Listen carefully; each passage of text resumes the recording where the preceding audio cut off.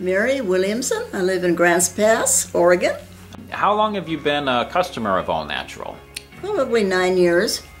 Excellent. And nine years, that's a that's quite a long time. Um, why do you continue doing business with All Natural? Well, everybody is so nice and they really take care of my problems. If I see ants or bugs or anything, I call and they're out within just a short time, which I appreciate very much.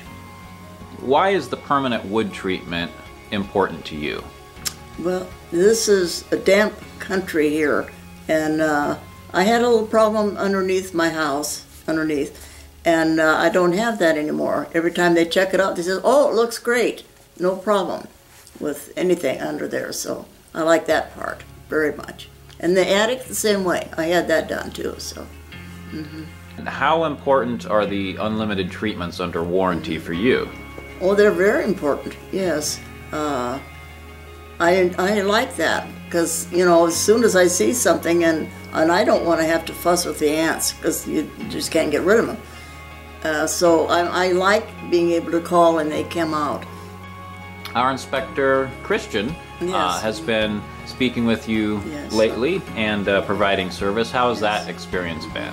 It's very nice. Yeah, very very nice. He, he's a he's a wonderful person. I really enjoy even talking to him. He's so nice and friendly and knows what he's doing. Knows what he's talking about. so yeah, he's very good. As far as the technicians doing the work, what has your experience been with them over the years?